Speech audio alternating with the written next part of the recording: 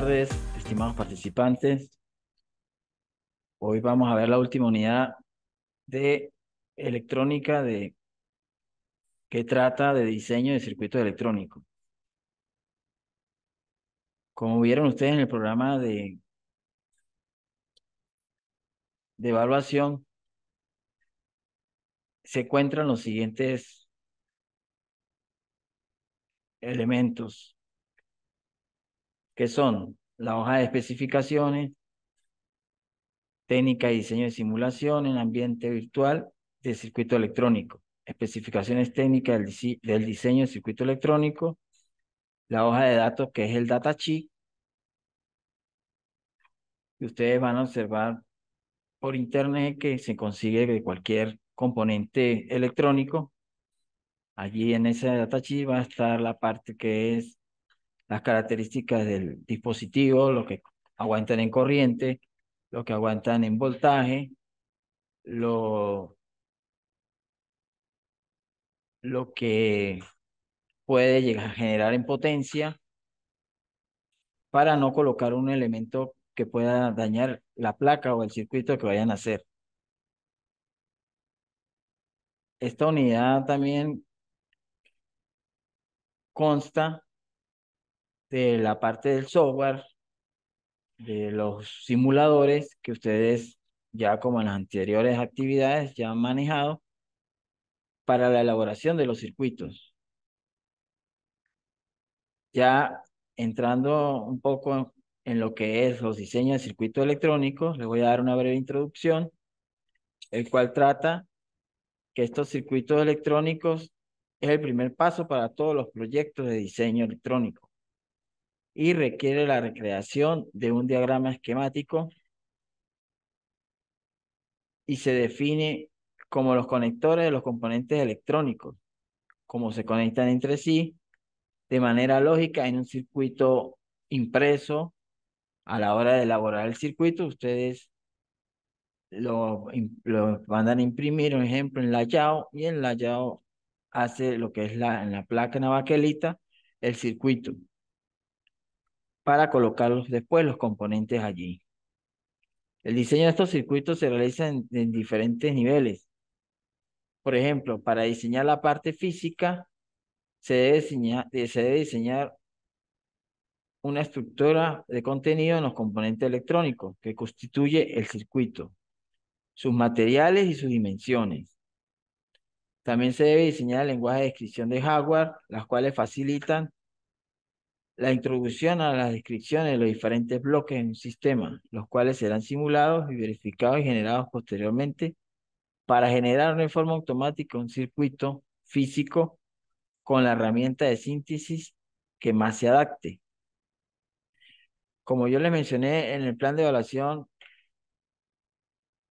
ahí se encuentra lo que se va a evaluar en esta última unidad de diseño de circuito electrónico. Vamos ahora a continuar con la parte teórica de estas técnicas para el circuito electrónico.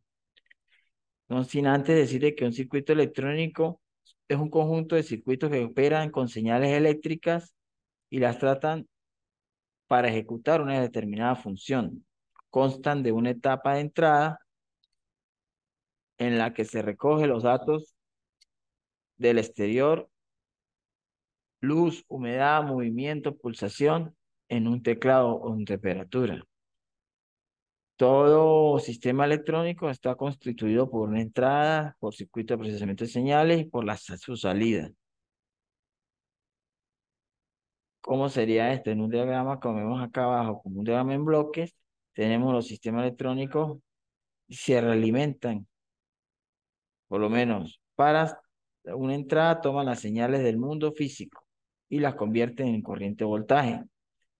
Los procesadores que son manipulan, interpretan y transforman las señales. Y las salidas convierten la corriente o voltaje en señales físicamente útiles. Y se, las retroalimentaciones se vuelven a suceder para cuando se están elaborando, cuando se elabora un circuito para ir tomando datos si está censando algo, él vuelve y pasa, retrocede, como, como dice, como se dice, vuelve y toma la, al inicio, va al final, igual y empieza otra vez.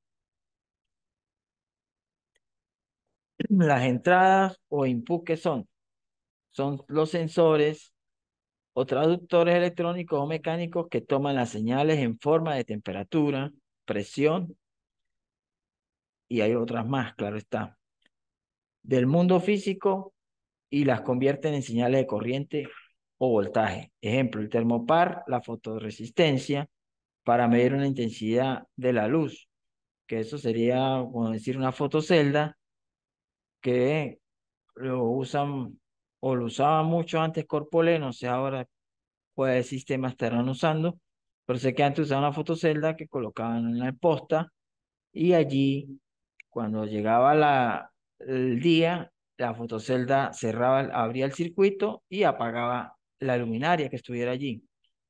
Ya cuando llegaba la noche, esta fotocelda cerraba el circuito y encendía la luz. Los circuitos de procesamiento de señales, ¿qué son? Consisten en artefactos electrónicos conectados juntos para manipular e interpretar y transformar las señales de voltaje y corriente proveniente de los traductores. Y por último, la tercera que vemos allí, salidas, son actuadores o otros dispositivos, también traductores, que convierten las señales de corriente voltaje en señales físicamente útiles. Por ejemplo, un display que nos registre la temperatura, o un foco o un sistema de luces que enciendan automáticamente cuando esté oscureciendo, como fue el ejemplo que tomé anteriormente de la fotocelda. Eh, el sistema electrónico, un ejemplo que vemos acá, ejemplo de un sistema eléctrico, como ven, es un televisor, es un interruptor con un bombillo y una batería o pila. Tenemos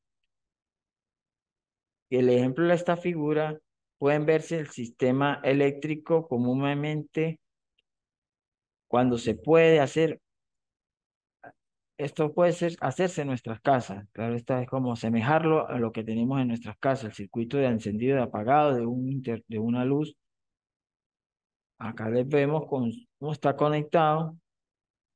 Al el que interrumpe la corriente o abre el circuito es este interruptor que va por este conductor rojo a una de las entradas del bombillo y la salida, otra iría a la entrada de la pila que va a energizar este bombillo.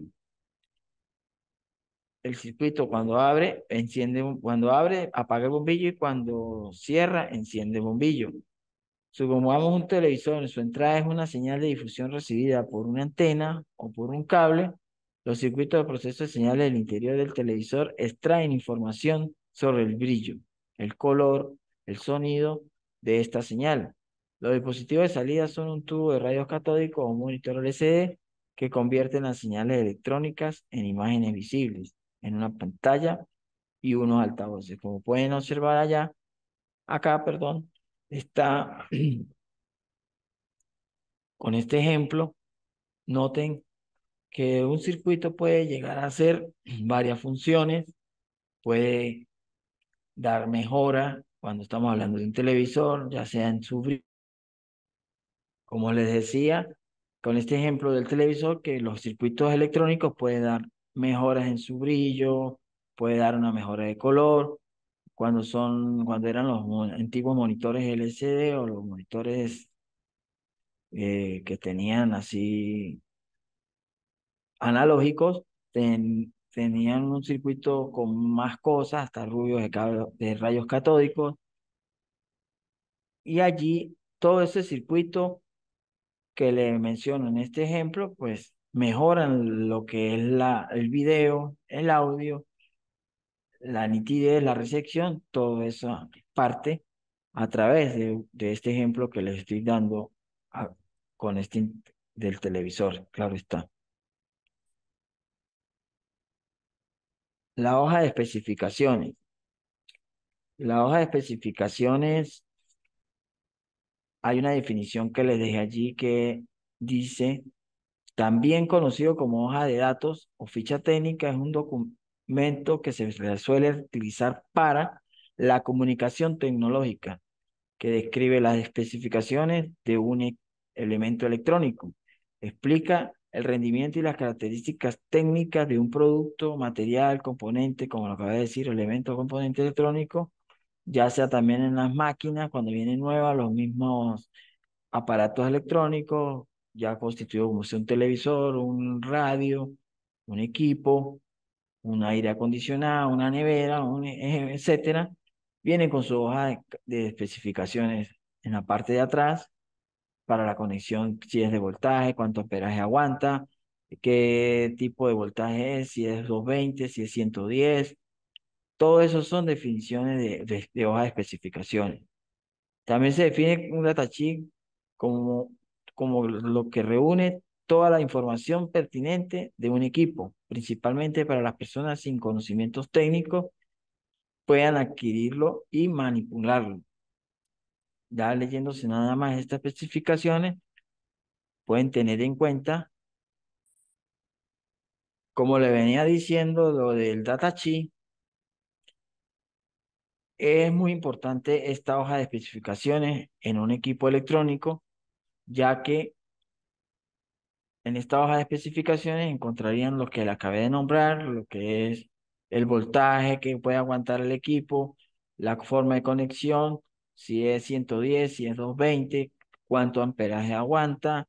Eh, también vendría eh, la potencia, si hablamos de una nevera que aguanta la nevera, eh, también el voltaje, esto en una lavadora todas las especificaciones vendrían también en su hoja de datos para que cualquier persona que adquiera un equipo pueda manipularlo sin ningún problema, teniendo en cuenta y teniendo cuidado con lo que allí se le deja en las especificaciones técnicas para no averiar el equipo primero y para el mejor manejo y durabilidad del equipo electrónico. Acá tengo unos ejemplos de datasheet, hojas de especificaciones, como le hablaba, aquí hay una secadora Bosch, ahí tienen todas las especificaciones, como vendría una hoja de especificaciones, viene también las características técnicas, los, la, ¿qué más viene? Características de, por lo menos si es de buena marca, tendría una, una simbología. Eh, también da las especificaciones de no qué no hacer, con qué, qué detergente usar en, en este ejemplo que está allí, o el tiempo de manejo de esta secadora que está allí. Por lo menos la hoja de datos DataSheet también se, ¿qué hace? Brinda información de uso técnico a los usuarios de dispositivos electrónicos. En ella podrás encontrar información sobre el diagrama electrónico de, de tus aparatos y en general todas las especificaciones sobre los componentes internos. Por eso es importante manejar el datasheet por lo menos de un elemento electrónico de un transistor, por hablar en forma electrónica, allí aparece el beta del transistor, lo que aguanta, eh, aparece cómo está conformado el circuito, si es un MOSFET, si es un transistor de potencia, si es un transistor que va a servir como switch nada más, por debido a lo que el, la, la corriente que aguante, debido al voltaje que de entrada que va a tener, el voltaje que va a entregar, todo eso lo especifica el datasheet. Continuamos con otro ejemplo que les dejé allí. Acá está el del LM555. Este es un, un eh, componente electrónico muy usado. El LM555 sirve para hacer eh, circuitos de en casa o de proyectos para ya sea para secundaria o misma primaria o, en la misma universidad, donde puedan, por lo menos con este, LM, con este LM555, elaborar un circuito por lo menos de encendido y apagado de luces intermitente, que funcione en forma intermitente o secuencialmente. Seguimos con esta hojas que le estaba mostrando o fichas técnicas del equipo del LM555 que es muy usado, lo que estaba diciendo hace anteriormente, y sirve para, para hacer circuitos de, en casa o en secundaria o primaria. Como lo dije, es muy usado y fácil de, de entender en lo que más se le va a colocar al circuito. O sea, si es, ¿qué sería lo más lógico que se le podría colocar este integrado? Con algún condensador, alguna resistencia. Y así trabajaría ese circuito que le digo de forma intermitente. Para elaborar un proyecto con él. Las técnicas de diseño y simulación de circuitos. Para empezar a comprender y cómo elaborar la simulación de circuitos electrónicos, debemos entender que el diseño del circuito electrónico es el primer paso para todos los proyectos de diseño electrónico y requiere la creación de un diagrama esquemático. ¿Y, y el diagrama cómo se define? Como los conectores, los componentes electrónicos que se conectan entre sí. Si de manera lógica de un circuito impreso, después de diseñar un circuito electrónico, los ingenieros pueden usar el diagrama para realizar simulaciones de PSPI, en ejemplo, un programa de simulación, y traducir el diagrama de software en diseños de circuito impreso cuando hablé del layout, que cuando sale ya impreso para hacerlo en la baquelita y ya ser perforado para colocarle los componentes electrónicos. Quería decirle antes de continuar con estas técnicas de diseño que regularmente, para acotar lo que estaba hablando anteriormente los datasheets, regularmente las personas que saben usar un datasheet piensan que la hoja de datos técnico fue creada para solo ingenieros o técnicos, sino en verdad es que estas hojas técnicas de los productos electrónicos también pueden estar dirigidas al público en general, como hablaba yo, que como venden las hojas de especificaciones en los equipos electrónicos, y cada vez las, las personas buscan los datasheets de productos como cuando van a comprar un teléfono, ya eso sería una hoja de, de, de, técnicas del, del, a la forma de adquirir el teléfono, porque ahí lo primero que busca las características, que tenga buena memoria, que tenga buen procesador, la gráfica que trae el, el video, el teléfono, tomando ese ejemplo, eh, la recesión de qué conexión, conectividad de Wi-Fi trae, también si es la forma de red normal, si es LTE, si es 3G o 5G, ya que las últimas que ha salido, pero acá en Venezuela aún no ha llegado y también en la computadora para saber si que se está haciendo una buena compra. Cuando van a adquirir un equipo, un computador, una laptop, también se busca unas especificaciones, ya las hace el mismo comprador o la persona que va a querer comprarla también porque también quiere tener una máquina que tenga buen procesador, buena memoria, buen disco duro, buena tarjeta de video. Estoy hablando de un, de un CPU o una laptop en sí. Y ¿Qué contiene un datasheet para terminar ya esa parte de los datasheets? Eh, en resumen, el código de identificación y nombre del fabricante. Especificaciones sobre los componentes del producto. Imágenes del producto, equipo, cuando vienen los circuitos, si es un transistor, viene cuál es su base, cuál es su colector y la circuitería que trae interna. Material utilizado para su fabricación, si son de silicio, si estoy hablando del transistor o germanio, cómo está elaborado, si es un diodo CN, si es un diodo normal, así, eh, ejemplo, tomando esas dos partes que estoy nombrando. Los diodos, cuando son hechos de silicio también o de germanio, y los detalles técnicos para su servicio. Tenemos que, le voy a nombrar algunos en los videos de referencia, hay unos videos que explica algunos elementos usados para la elaboración, acá hablando de las técnicas de diseño y simulación de circuitos, los, algunos simuladores. Una, una de las principales ventajas que encontramos cuando usamos un software es que proporciona, proponen a utilizar qué? Una buena simulación, el ordenador de esos, por lo menos hacerlo en un computador, la simulación es muy importante, muy práctico. ¿Por qué? Porque ya a la hora de hacerlo en forma física, ya lleva datos o algunas mediciones hechas que se van a asemejar o van a, veces, a veces ser igual esas medidas en la forma de parte física. Por lo menos, ejemplo, si yo estoy elaborando un circuito que quiero que me mida, que me dé salida 5 voltios, al hacerlo en el simulador, el, el circuito me, me, me bota los 5 voltios, ya con los componentes que le estoy colocando a ese circuito. Ya llevándolo a la forma física, yo hago la, la, la misma conexión, ya sería más fácil porque tendría un plano, se imprime ese plano y se, y se elabora el circuito. Y allí, al medir, está, colocándole ya corriente o voltaje, él me botaría esos 5 voltios, tomando ese ejemplo, si es una salida de 5 voltios que estoy buscando. Vamos ahora, acá como observan en esta gráfica, es de un simulador PSPy, porque me da las distintas mediciones y bota varios datos, lo que le estaba comentando. Ya teniendo bastantes datos uno, ya va como a la forma física más seguro y más confiable en lo que uno va a realizar. Aquí le voy a nombrar algunos simuladores que se encuentran en, internet, online, en el cual nombraré EAXI, EDA, el Circuit Sims, el de que ALAC, el, el Every Circuit, esto que tenemos acá.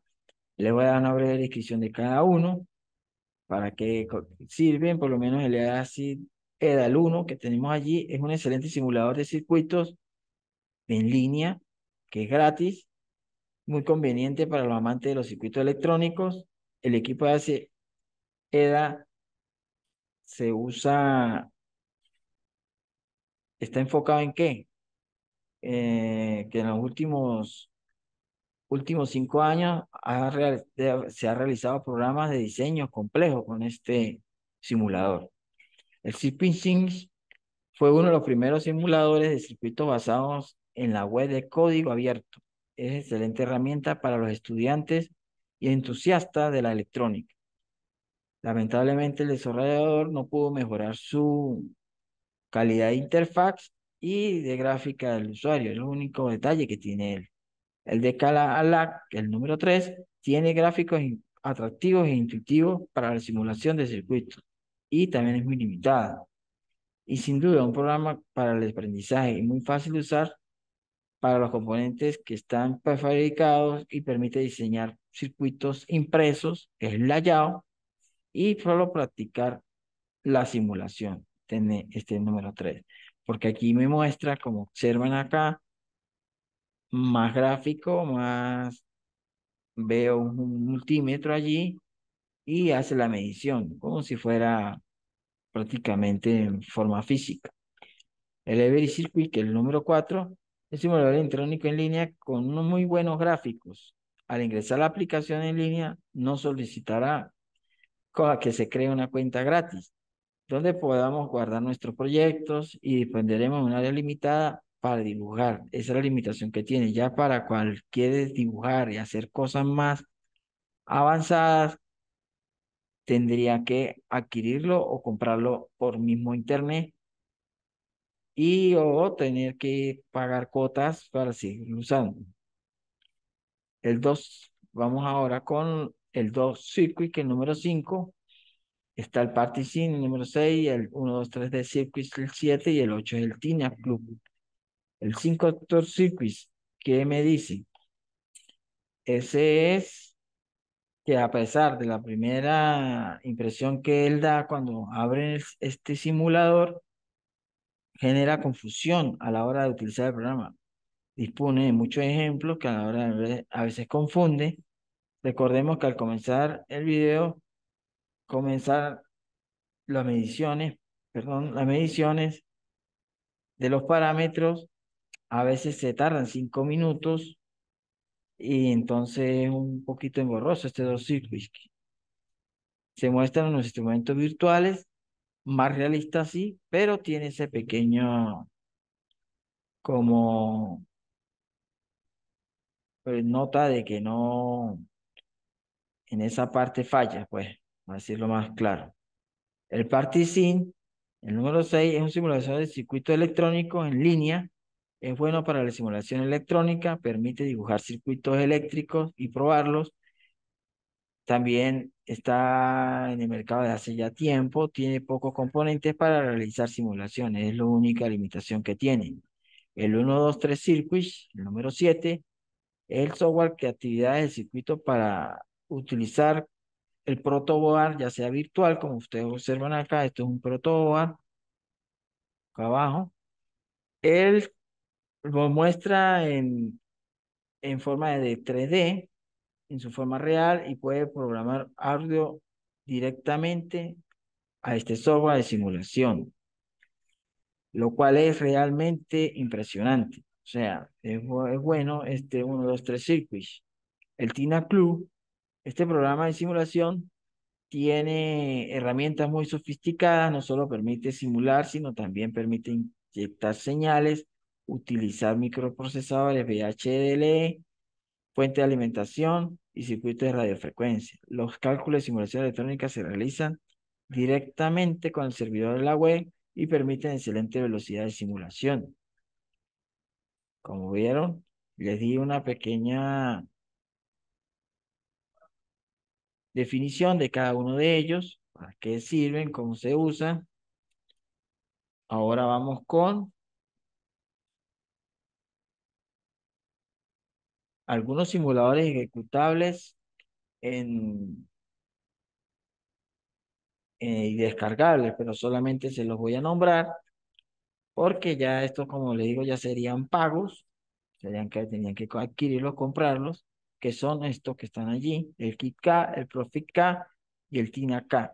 Algunos simuladores ejecutables. Estos instrumentos en concreto son suficientes para cualquier profesional que no quiera pagar por utilizar un software para el diseño o prueba del circuito electrónico. Por eso ahí les digo algunos. Aquí tengo otros que tengo acá abajo en los videos de referencia. Hay algunos simuladores que nombro también, como está el programa más sencillo de diseño de circuitos electrónicos y el laboratorio electrónico o taller de electrónica, que me gustaría que vieran esos videos, lo cual yo los subo en la, en la plataforma en forma de documento Word para que saquen el link de allí. Ya con este programa de simuladores y circuito electrónico finalizamos la clase y ya también finaliza el contenido programático. Espero que tomen en cuenta todo lo que hemos visto. Vean estos videos de referencia que están al final.